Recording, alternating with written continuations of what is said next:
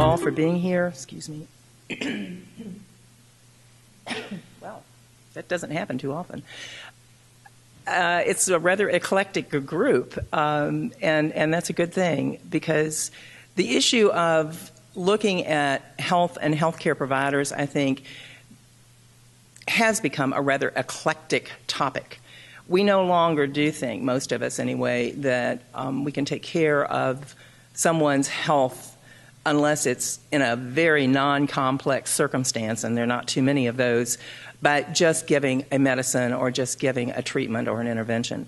And so, for our purposes today, we thought we would just share some of our experiences and beliefs, and many of you have had multiple experiences, and so we're going to leave time to get into a discussion. But for, for me, um, working in a variety of cultures in this country and abroad, I have such respect for the importance of looking at the team of healthcare providers as sort of a, a, a whole, and, and there are very many different perspectives on health, and it takes a lot of negotiation at times and a lot of time that we often don't have, particularly in an acute setting, to work through our differences. But it is more and more essential. I think just hearing uh, Randy Wykoff this morning, and then also hearing from our local folks about how we're going about attending to health and all the things attendant to health and well being of populations makes it incumbent upon us to really think through the complexities of this and, and work even harder than I'm sure most people in this room already know. It's like singing into the choir to get out of those silos that our professions or our beliefs about our professions have put us in. Um, one of the first um, extraordinary experiences I had was in Appalachia. And in that culture, understanding that um, the nurses were the primary caregivers because there were so few physicians, but we had to rely on a whole host of other people to ensure that we could go up the creek beds and the hollers and, and, and, and see these folks.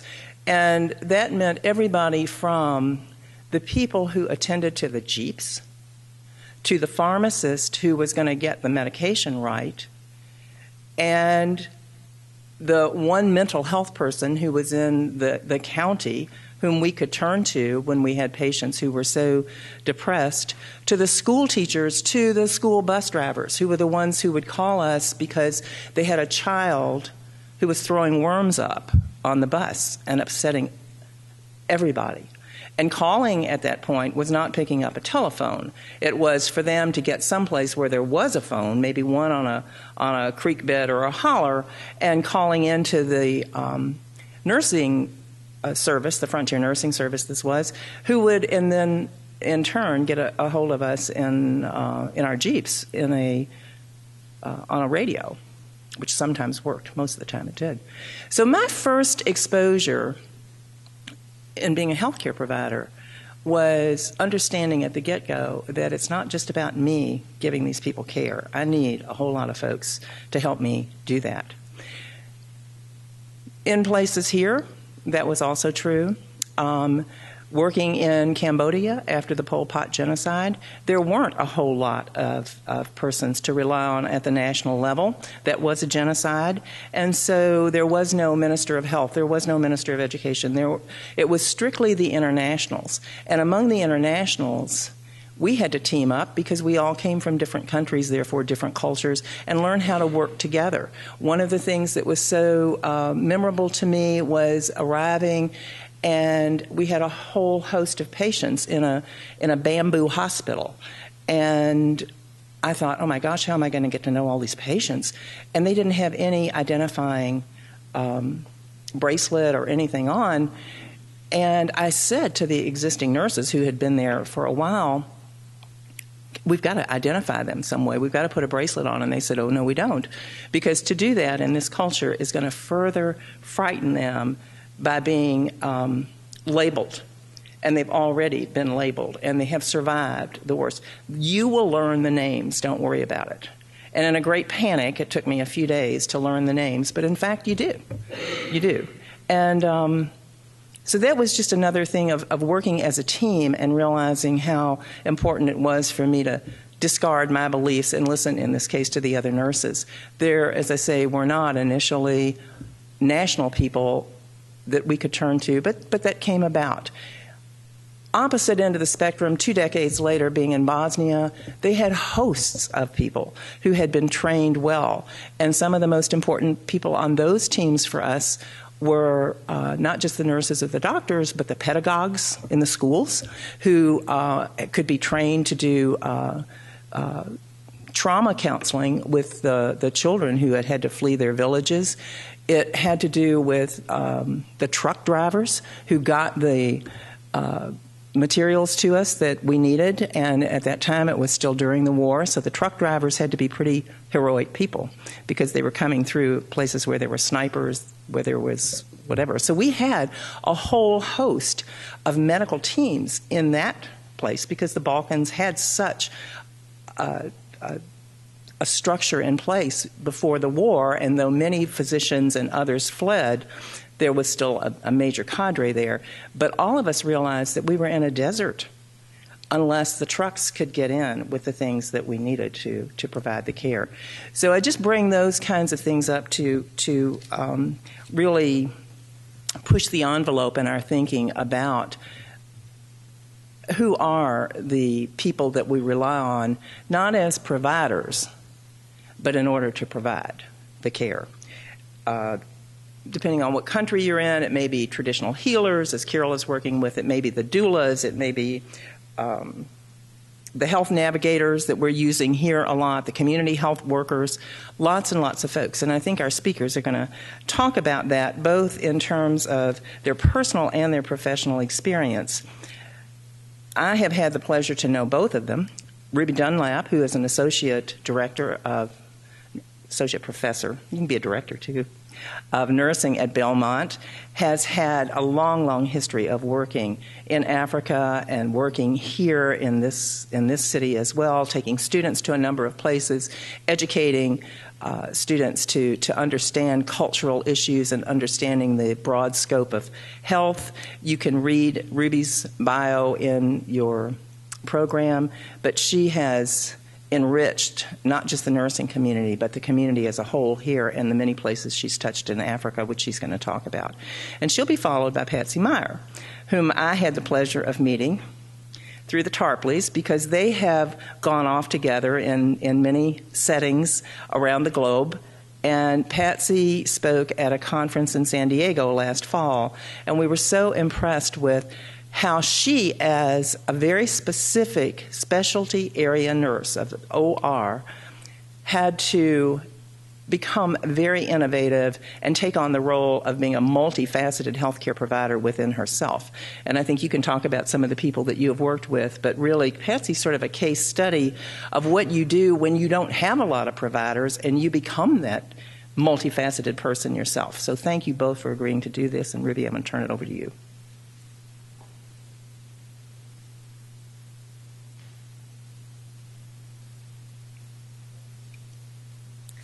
I don't want to bump this computer. Is it, will it be okay just to shut put the lid down? Okay, is that okay? Okay, I just don't want to accidentally bump a key. Thank you. Thank you so much for having me. It's a great privilege to be here. I think this is the third um, uh, Tennessee Global Health Forum that I've attended. I've always enjoyed myself thoroughly. First time I've spoken or participated in this role. Um, very excited to be here and talk to you about um, task shifting or the um, many faces of healthcare providers around the world. I'm going to end up with uh, a more scholarly, evidence based uh, reference to task shifting in the world but I want you to know how I arrived at the my thinking today. So I'm going to tell you a lot of stories. I don't have any slides. I'm going to just be a storyteller today to tell you how my thinking uh, came to the point it is today. Uh, when I was two years old, my parents took myself, my little brother, and a third brother was born as soon as we arrived in country to Somalia, which you know is the hardcore, no good news kind of country. That was in 1955. And my parents were Mennonite missionaries there, and we were stationed about 50 kilometers north of Mogadishu, the capital, in a little village. Uh, no Westerners had ever lived there before. We started off living in what was basically a cardboard house, masonite, and then eventually a cement block house uh, was built for us. And my father had a boys' boarding, boarding school because girls are not educated formally in that country. Um, at that time, I don't, I'm sure not now either. But um, in any case, my parents were there with three small children, and one of the earliest things that happened to them was late at night. There was a knock on the door, and three or four armed men stood at the door, uh, armed with spears, knives, and they said, We want the midwife.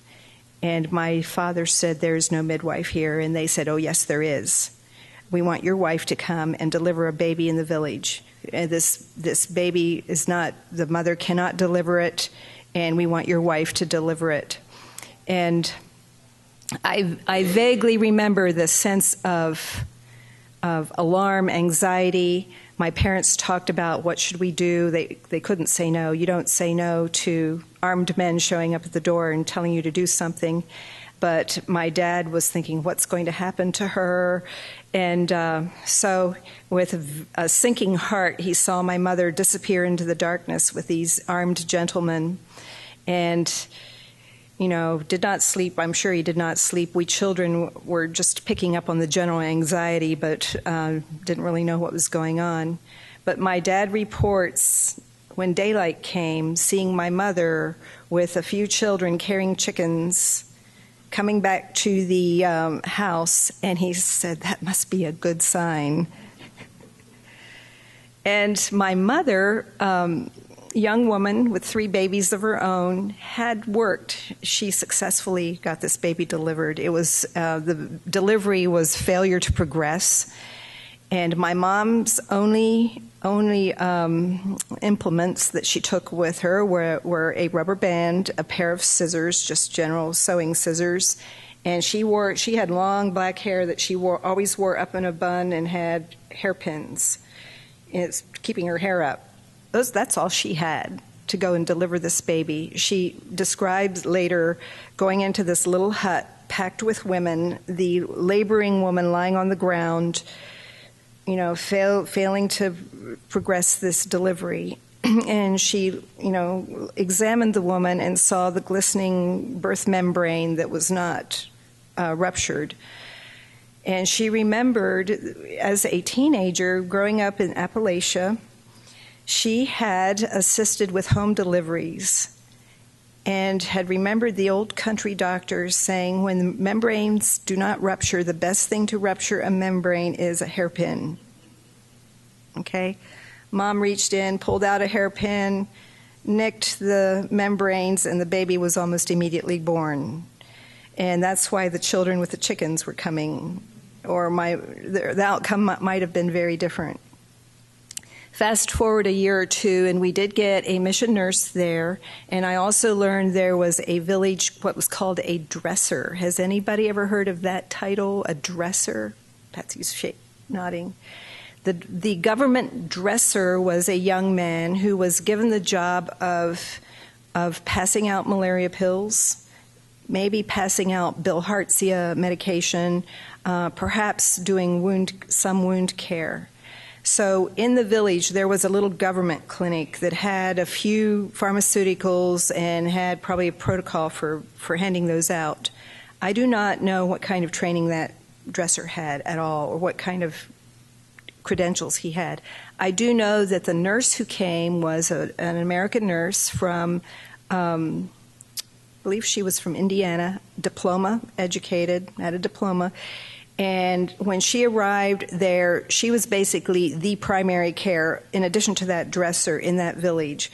The nurse uh, diagnosed infectious disease, had a microscope. She must have gone to a tropical disease special institute to learn how to do all of this. She diagnosed bilharzia, she diagnosed malaria, she um, treated wounds, she birthed babies out in the village. She became the midwife after my mom. I must tell you, after delivering that baby, my mom delivered quite a few babies in that village until the nurse came. That I'm telling you all of this to um, show you that my mind, very early on, even in early childhood, became very open to different types of professionals or non-professionals doing healthcare. You, you start you start off with an openness uh, to that. Now, fast forward to returning to the States and me um, getting my nursing education, and my very first job was an emergency room in uh, Appalachian, a little county hospital, 60 beds. And what that taught me, evening shift nurse, we got everything. What that taught me was observing the uh, residents who were moonlighting to staff, be the physician in that ER. I had uh, who had to be prepared to respond to anything and everything. I had dermatology residents, ophthalmology residents. I was always really glad when I had a internal medicine or car- cardiology resident, had uh, orthopedic uh, surgical residents. So, in the, the space of the several years that I was in that ER, I observed physicians with different specialties and how they performed and how their, um, they all had the MD behind their name, all same credential, but how their training past the MD and, and their experiences, if you don't use it, you what? Lose it. Okay. Um, so I observed, for example, an ophthalmology resident being very unsure about how to suture, how to intubate. A dermatology resident telling me, I don't think I can intubate. We had a code coming in, you know, person needing intubating. So can you see now how my mind was kind of being wondering, well, does the credential auto- automatically mean the competency? Where, how do we the competency and the credentialing may not have a neat one to one correspondence. Are you all following my growth and development here? Okay. I made a little outline so I wouldn't forget anything. So that was ER. Then fast forward again, I started um, working as a nursing professor at Belmont in 1996. And of course, I went from that sort of loosey goosey, if you can do it, do it kind of world to being in the world of academic nursing and very um, little bit territorial. I think we were. Uh, Dr. Dowdy, Sharon, sitting here is one of my colleagues.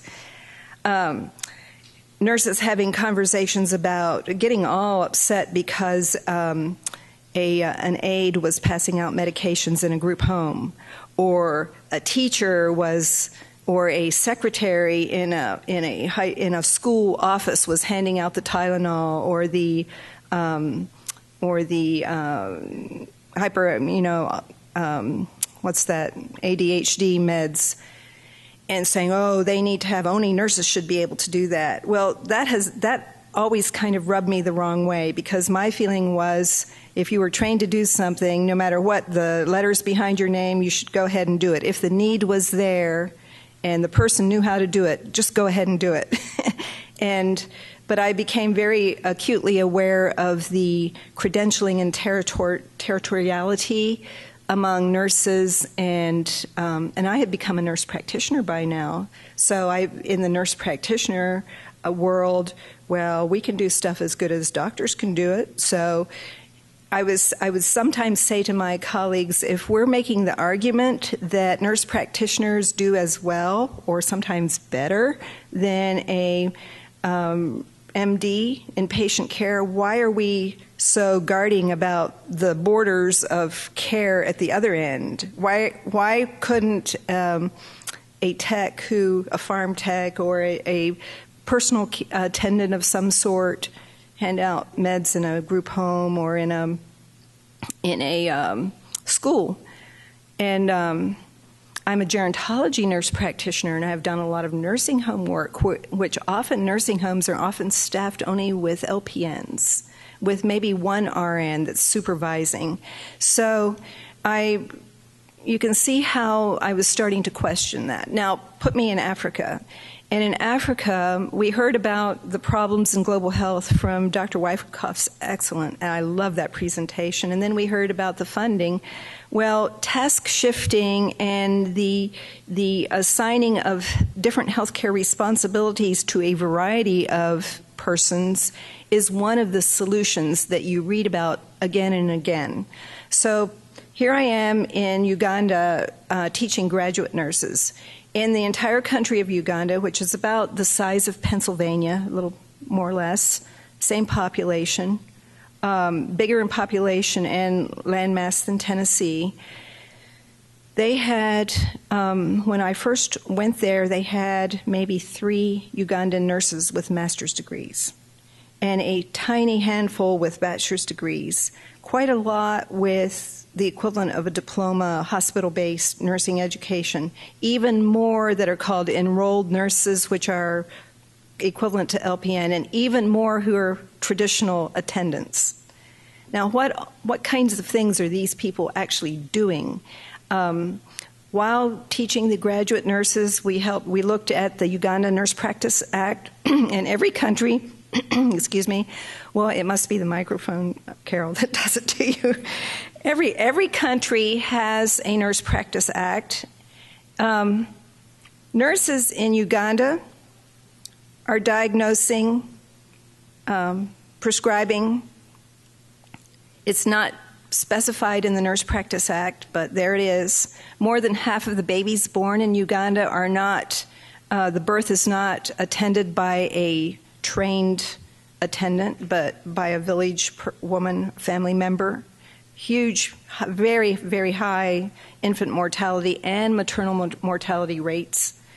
Um, so you look at the situation where you have overwhelming healthcare needs, you have tiny, tiny cadres of physicians, even um, um, professionally educated nurses, and you wonder who's going to do the health care for the people.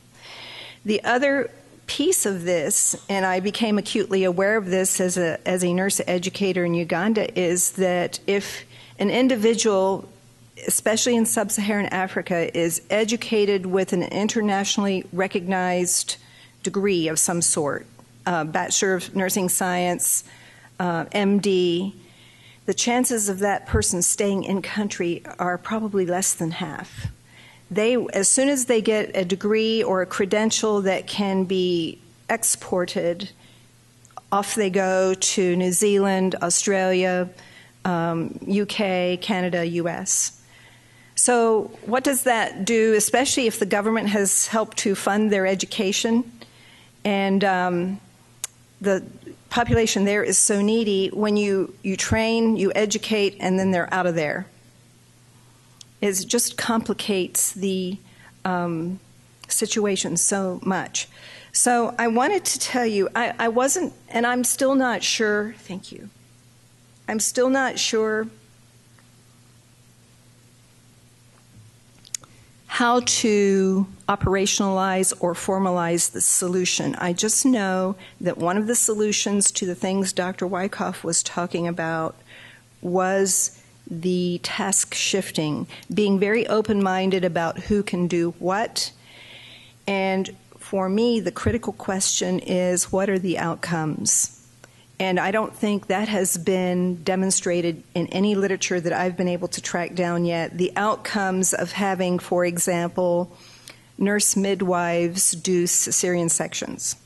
I don't know what the data are, if the data are even being systematically collected in a credible way. Um, what are the outcomes when you have community health workers um, distribute medications, community health workers, not nurses, not, not clinicians, but community health workers um, diagnose and distribute medications for different things like HIV. You have to, you would have to put the outcome data for that compared to no healthcare workers at all. I think it's very um, unfair and um, dangerous, maybe, to compare the outcomes with a nurse midwife who's doing cesareans with the outcomes of a OBGYN doing cesareans in a fully funded, equipped, you know, you need to be c- comparing. Are you seeing the task that I'm, as I'm seeing it, the task will be to make sure you're comparing apples with apples and not unfairly comparing the outcomes of people working in very resource limited, training limited uh, environments. You have to compare their outcomes with what happens when there's no, res- no health care at all. Uh, that's one of the things I'm really convinced of and, and sure that we need to um, be advocating for. The other one um, that I think we need to advocate for as we shift the tasks among a variety of whether it's a community health worker and a nursing associate, whatever, the label doesn't matter as much to me as the quality of the training and the outcome. Um, the other key thing I think that has been demonstrated, at least in India, is the community health worker must have backup support and continuing education. You can't just send, and this happened in Uganda, and it was it's been an abysmal failure, really. Say, oh, the community health worker go out there to an outlying area, and you take care of the problems out there, and don't give them any continuing education, or don't give them have them have a very shaky referral mechanism for things that overwhelm them. So you get a a uh, midwife out there who all of a sudden has a um, uh, delivery going bad, there needs to be a way of rescuing that. So I think, as I've observed, and in conversations with my uh, Ugandan coll- colleagues and, and reading, it's it's the credentialing and the education, who's going to be doing what, with what resources, and then what is the chain of referral that they have? If you if you have a community health worker with a problem that they cannot solve where do they go to next? And then where do they go to next? And so forth. Um, the one really successful uh, community health worker slash nurse slash physician system that that I have read about has been in India, where in fact they did that. You have a lay person, a community health worker with minimal training, doing maternal infant education, weighing babies, and, and, teaching nutrition, sanitation, and so forth. When she discovers a case, she has a nurse to refer to. The nurse has a maybe a mid-level clinician to refer to. The mid-level cl- clinician has a physician, and all, all the way up to the, ending up with a specialist. So as we think about task shifting, and and you think about my story and how I've got to how I'm thinking about that. Um, I think those you will discover both in the literature and from my experience, those things are, are really important. One of the key benefits of having non nurse, non physician healthcare workers is that they cannot export those. Um, when I hear myself say that, I sound a little bit cruel, but you want to keep healthcare workers in country for the people that need them a healthcare worker that has significant task shifting is not a nurse, is not a doctor, is not g- going to be able to leave the country because those credentials and those that skill set of that person will not be recognized anywhere else. But they will be key people to improve the health on the ground locally with their own populations. So I think that's that is um, another benefit. In addition, uh, another thing to keep our eye on, in addition to the backup systems, the uh, continuing education, quality assessment, quality assurance, collecting data to track outcomes, all of those I see as big issues in the task shifting world. Um, you go to the World Health Organization um, websites, the International Council of Nursing websites, you'll find a lot of information. You put in task shifting in healthcare, and you'll get a lot of articles about um, describing case studies and how it's being done. But I still think that we don't have the hard data to track actual outcomes in a public health kind of way. Um, see if I've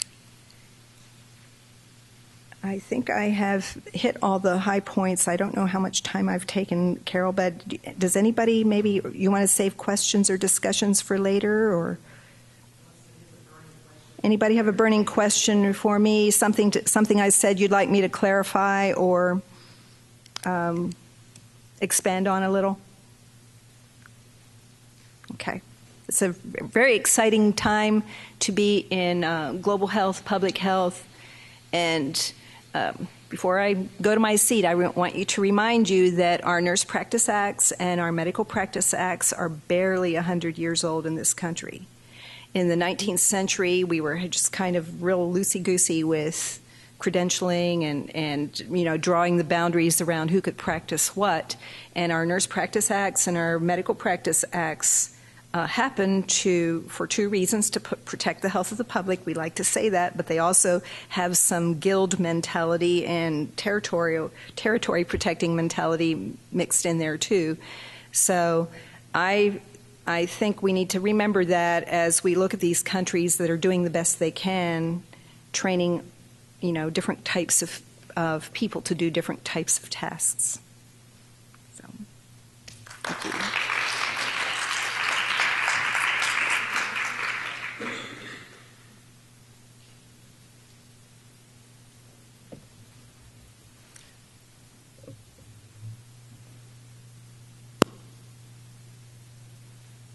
GH. Aaron? I thought you said it said the IGH. I was going to say, you didn't want to send me up here. No. While he's coming, because I am definitely not uh, the IT person, my name is Patsy Meier. I currently live in El Paso, Texas. Ruby and I just met today. Come in. IT is always my best friend.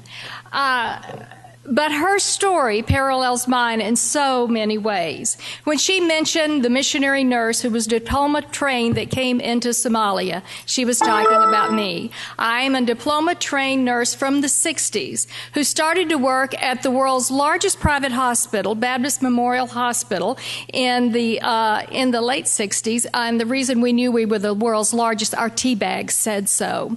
Uh, that is the, the hospital that was demolished uh, a few years ago ago in Memphis, Tennessee. And my husband was one of those surgery residents who was moonlighting because ER care in the 70s was provided by residents, and they were happy to see a young surgery resident present.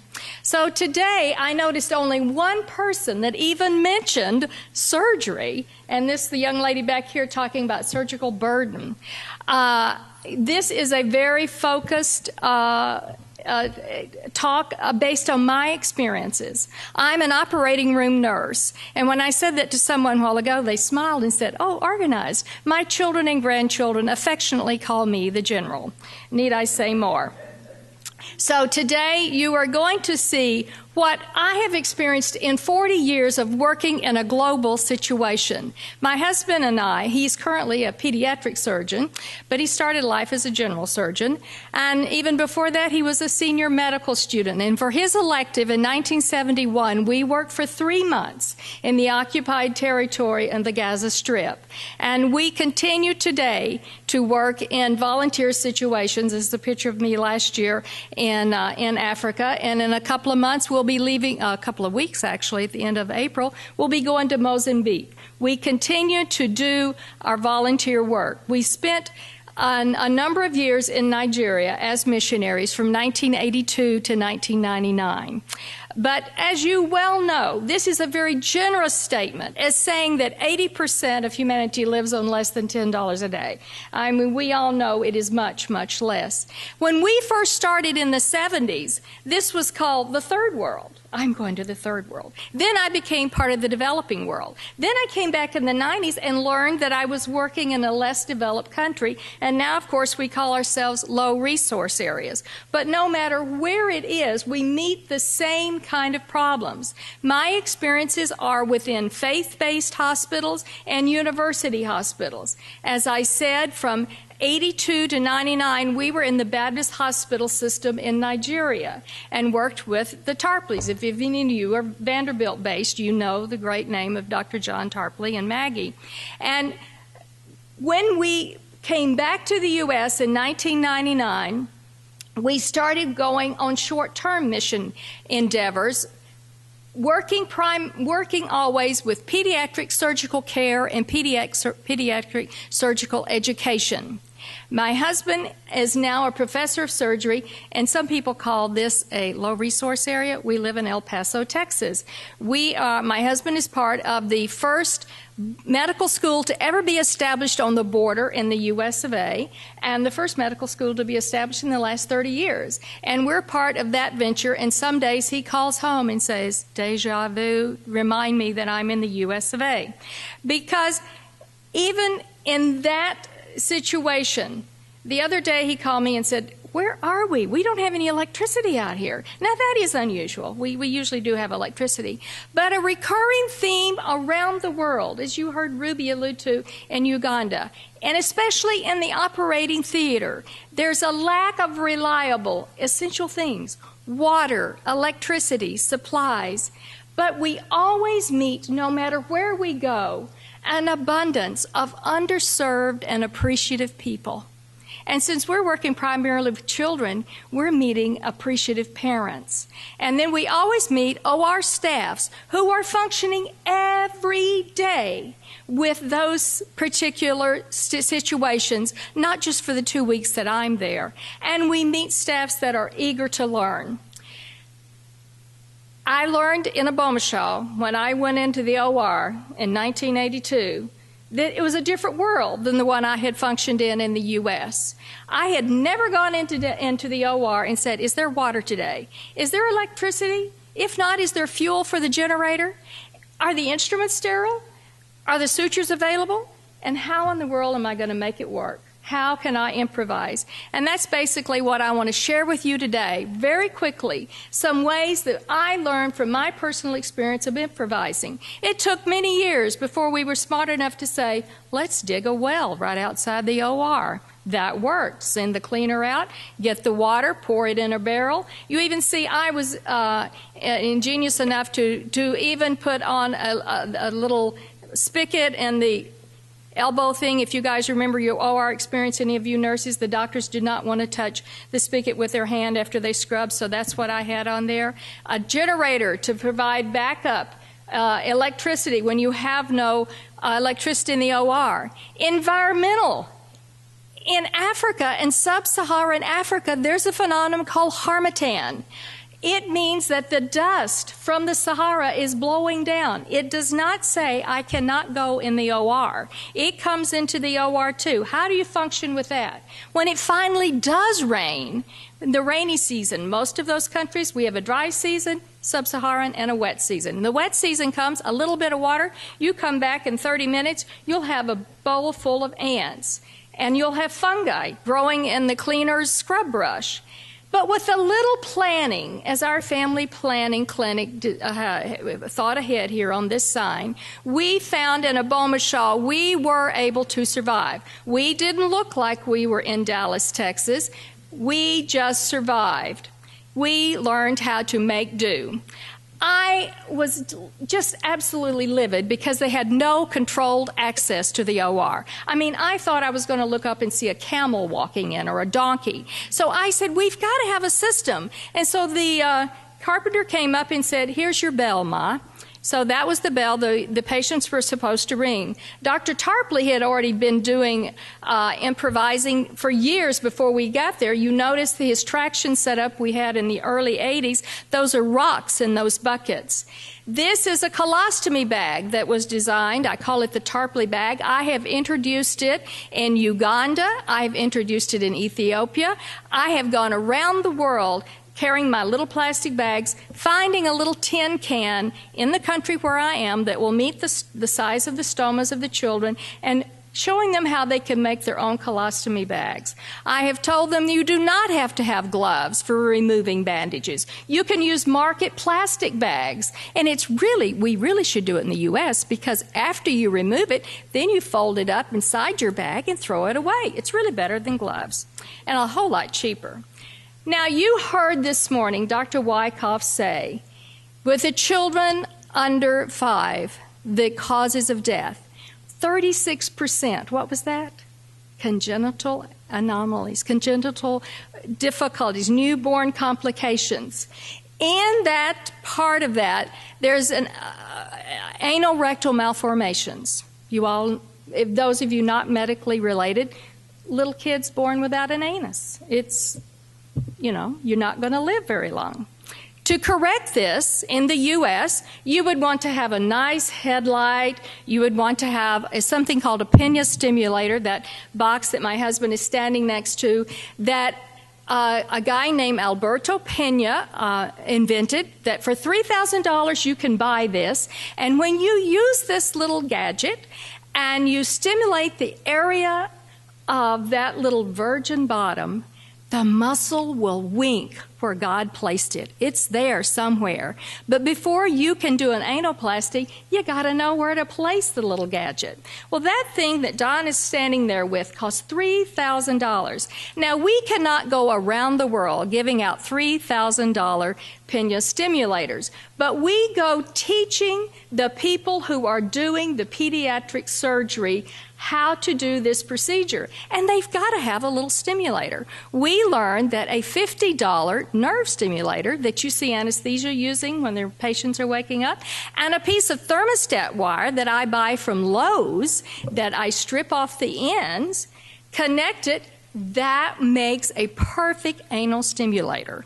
And we go educating these young surgeons, ever who's been designated as a pediatric surgeon, and as Ruby said, it is not a young man who is compl- or woman who has completed a fellowship. It is just someone that has been given the pediatric surgery book that's about 10 years old, and they said, You are now the pediatric surgeon. So we go teach them this procedure, show them that they can use this, and they have a little wink. You know, the plastic surgeons go around the world saying one smile at a time. I've been looking for a cute little logo I could put on our lab coats, but so far I haven't really come up with one that would really be culturally appropriate. The closest was one wink at a time. But we have learned that you can make do. We go now primarily to university teaching hospitals.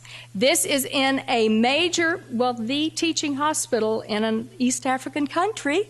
Then this is one of their better ORs because one of the globes still works in their OR light.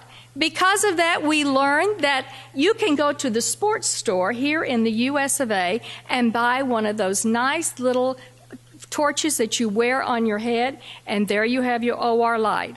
Anesthesia in Nigeria, we did not have oxygen. We learned we could use room air with a compressor to pass the anesthesia gases. We learned that if the sun is shining, you've always got an x ray box. Often we would get sutures from the US of A. You have collected materials and taken with you on mission endeavors. But they've got to be sorted. They've got to be used appropriately. And often they are really not very helpful when they get there.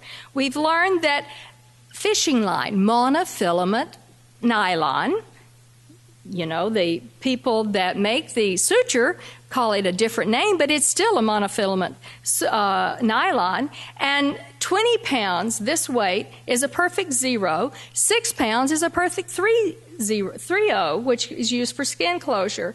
Put it in your little packets, put it in the autoclave, sterilize it, whammo, you're good to go. Thread it on an old needle board. Now, I told you that I started working in the 60s. I started working in a hospital, that Baptist hospital I told you about. We had to pin our own sponges. We had to cut our own cottonoid. We had to thread our own needles. I was trained and was able then to share this training with technicians and nurses that we work with around the world. There are places today where saline is still made. What is saline? Salt water solution. Sterilize it. I'm happy to report in most places in the world today, I do not see this and that's because of China and India supplying the rest of the world. But we no longer see as many syringes and needles and gloves reused, and I am very, very thankful to report that. But there are places that they still do. Gloves are washed at the end of the day, powdered, remember?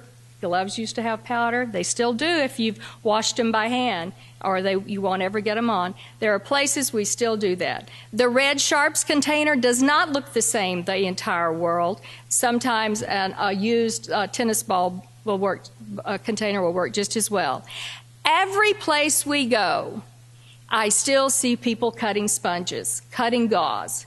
This is in Kosovo, Africa, I fold gauze with OR staffs around the world. Don is over there working. Once you get the case going, it takes a long time to do an anoplasty. That's when the nursing education takes place. We're over there folding our gauze and talking and learning what their situation is like.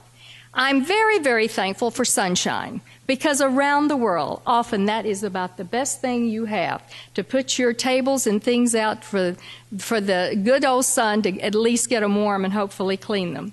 Recyclables are in around the world. Making your linens works. The gauze, the, the, the caps, all the linens that are used are made by a tailor and then autoclave. But some things they cannot make. They cannot make a sterilizer. Some things must come from abroad. Of course, we do know what do we give away in the U.S.? things we really don't want, right? And can't use anymore. So often the materials that we receive uh, look like this. And every place that I now go, one of the first things I do before we start operating is find out if they have what they call in many parts of the world a divider, or we call it a power source. Because there's usually only one outlet in the room that will work.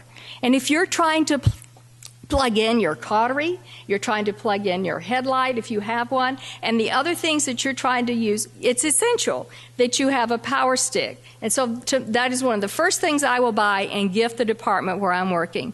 And if there's not a suction, make sure there's a foot suction, essential for putting someone to sleep in anesthesia. As I told you, we're doing anal rectal malformation repairs, we're doing anoplasties, then you have to dilate the child. Dilators are expensive. If you send them home with the mom, they will never return. You know what that is on the bottom? That's a candle. I take the candles, I show the staff how to cut them so that they fit and look just like the 16 millimeter. And the most rewarding part of making do and, and doing is seeing someone that you have taught replicate in their own practice. So in Nigeria, one of our graduates went out and he started his his clinic and he had an operating theater and he wanted a table that went up and down like the old 1080 American supply we had. And so what did he put on his? That's a jack from a car, but it works. He can move his table to the different heights. Now, sterilization is always a problem because you've got to have electricity for that autoclave to work. Well, you've got to do that for your linens. But for your instruments, in many parts of the world, soaking instruments in alcohol or formaldehyde or other solutions is one of the ways that they are sterilized. So you either have the autoclave where you put the instruments, the the the objects that you want sterilized into the bottles. Thank you. And in one country where we were working, they were using the instruments from the table to retrieve their sterile supplies out of the common container. Ruby's making a face over here.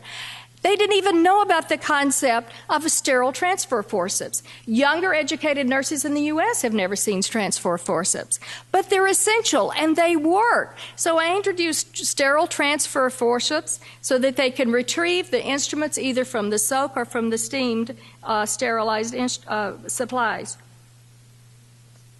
Thank you.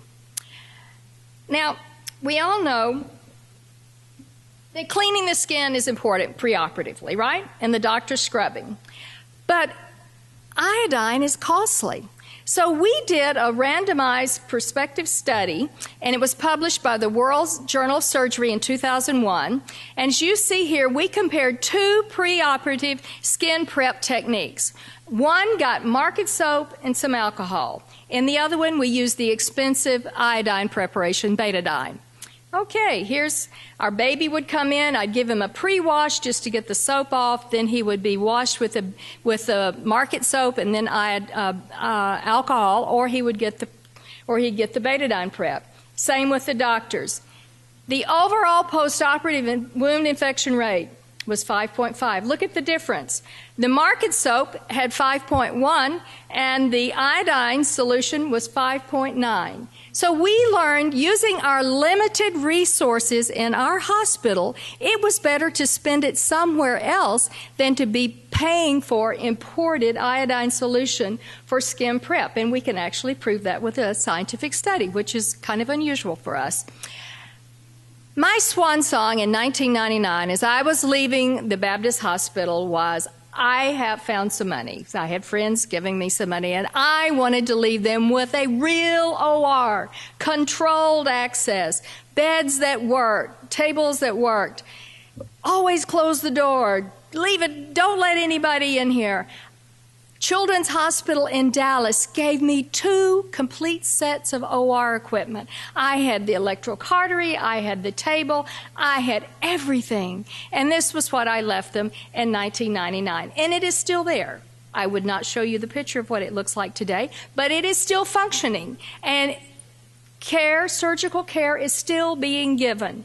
I was determined that we would do everything we would move up a notch. We had been surviving, but we would move up a notch. We would make sure our cases were posted.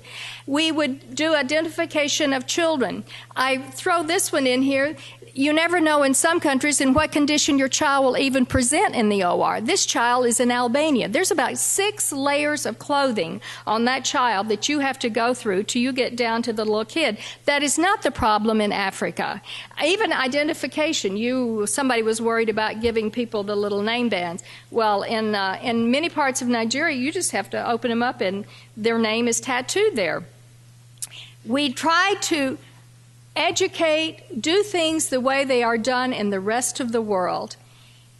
But through it all, we learn that things that you don't expect to see, you often see, and yet you find that surgical care is given and that the patients do well. One of the things you don't often see in the U.S. is a surgeon lying down on the table to give blood so that the child can be operated on.